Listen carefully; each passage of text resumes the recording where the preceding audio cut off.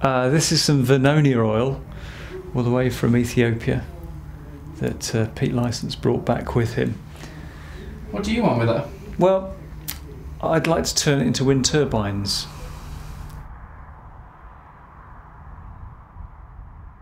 This comes from mainly from uh, eastern part of Ethiopia. It's, it's, it's, it's just a wild plant. So once it is ground, you put it uh, in a thimble.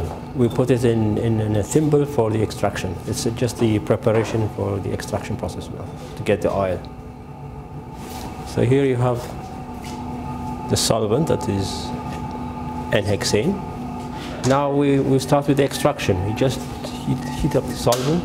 This is the final product after purification the Vernonia oil. There have been attempts in the past to use Vernonia oil for many applications, but it's in the last three, four years really where the importance of Vernonia has become really uh, quite important. Uh, this is some Vernonia oil, all the way from Ethiopia, that uh, Pete Licence brought back with him.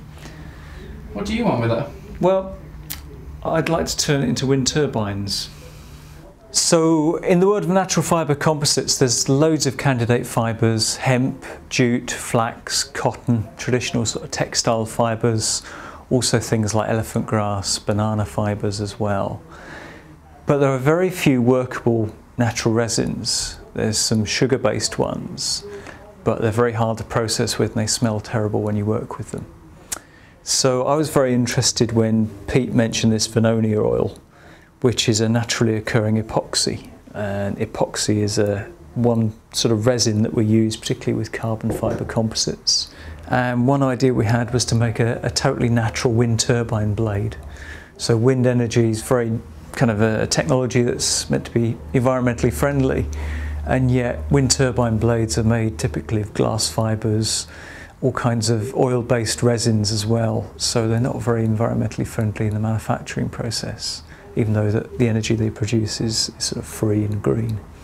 So if we could make wind turbine blades out of natural fibres and natural resins, then we could make a true sort of sustainable technology. It's great working with chemists because um, if you work with a chemist and they say, "Oh, we're going to we're to make a lot of this material," they say, "Oh, you know, almost a gram maybe."